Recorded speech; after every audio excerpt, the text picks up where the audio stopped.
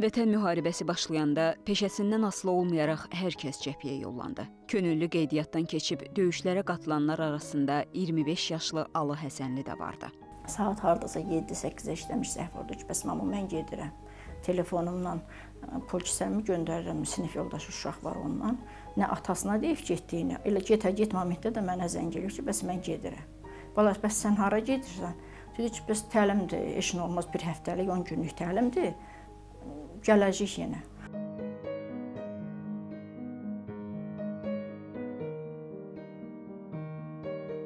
...27-si hamı kimi biz də işi səhər durduq ki, müharibə başlayıb. 27-si bütün günü onu ilə əlaqə saxlaya bilmədik. Bir də 28-i ə, axşam tərəfi özü zəng vurdu. Bəs mama mən ə, Beyləqandayam. Bəs Beyləqandayam. Kim harda əskərlikdə, hərbi xidmətdə olub, hə, hamını hərəni öz yerinə aparıblar. O mənə yalan danışır. Hansı ki, mənə heç vaxt ömründə yalan danışmayan uşaq bir ay mənə orada yalanlar danışdı. Ailəsindən gizlətsə də Alı müharibənin ilk günündən ön cəbhədə olub. Döyüş yolu Füzulidən başlayıb. Füzulinin və Cəbrayılın işğaldan azad edilməsində onun da rolu var. Əlaqə saxlayırdıq da gündə 2 gündən bir, 3 gündən bir, bir ani momentdə ə, salam, sağ ol, salamatçılıq. Təxmini bilir, ə, məlumat verirdi ki, filan yerdəyik.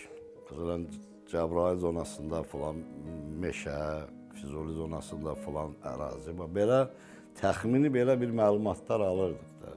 Axırıncı dəfə 19-u mənimlə danışıb. Xeyli vaxtda danışdıq, arası bəlkə də yarım saat. Mən özüm dedim ki, bala, dayı bəsdir.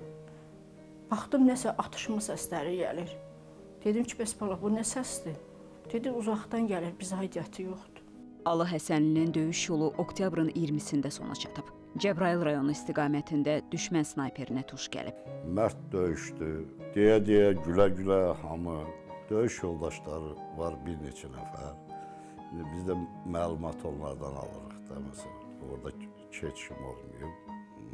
Mərdliyindən, qoçaqlığından, vətənpərvərliyindən onlar daha yaxşı görürdülər. Döyüş yoldaşları danışırlar, bəli, düşmənin nə qədər texnikasını, sursatını ələ keçirməklərindən. Danışırlar ki, harda döyüş olurdu, bu adam həmişə öndə gedirdi. Bunun heç vaxt arxada olduğunu biz görmədik. Dedi, heç axşam biz döyüşdən sonra neytralda, bilmirəm, yoxsa hardasa şəhidlər var idi, çıxardılarsa. Komandir gəldi ki, 5 nəfər könüllü lazımdır onu çıxartmağa. Birinci elə bu çıxdı qabağa. Alı Həsənli döyüş əməliyyatlarında iştirak edərək şəxsi igidlik və şücaət nümayiş etdirdiyinə görə ölümündən sonra Vətən uğrunda və Füzulinin azad olunmasına görə medalları ilə təltif olunub.